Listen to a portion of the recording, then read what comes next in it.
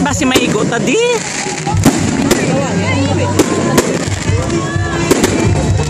Ano nang kakatabo sa kawayan nga gina nga galupok? Wala yung kawayan niya puitis.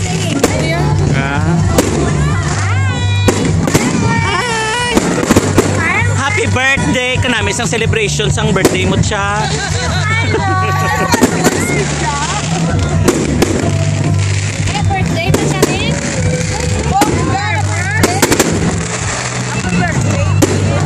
Ang bugos nga bakolod naga celebrar.